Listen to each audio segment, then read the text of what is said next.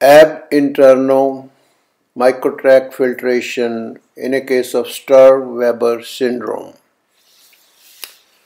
You can see prominent abnormal blood vessels in the conjunctiva.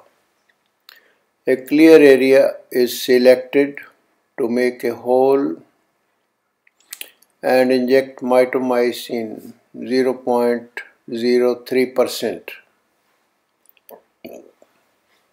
The fluid is pushed towards the nasal side. Then we inject sodium hyaluronate under the conjunctiva and raise a wheal making a vertical incision into the cornea, injecting a miotic, trying to contract the pupil,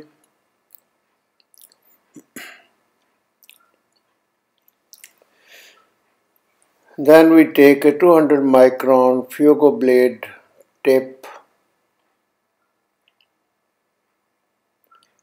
and move it parallel to the limbus, activate it and you have made a track. But I made a mistake. If I had lifted the conjunctiva, there would have been no puncture of the conjunctiva. Anyway, it's not a very serious complication. We can suture the conjunctiva. A peripheral iridectomy is being done.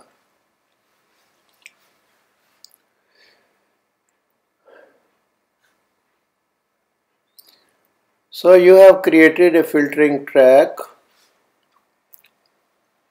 very efficiently at the moment injecting sodium hyaluronate in the anterior chamber very efficiently done without any bleeding, without any charring.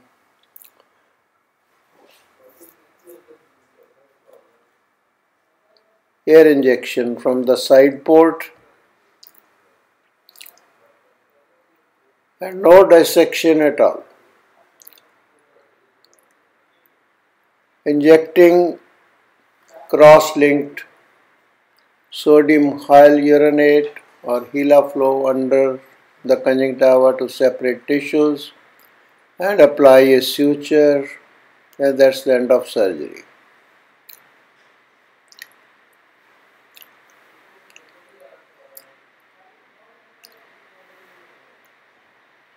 And it's all done.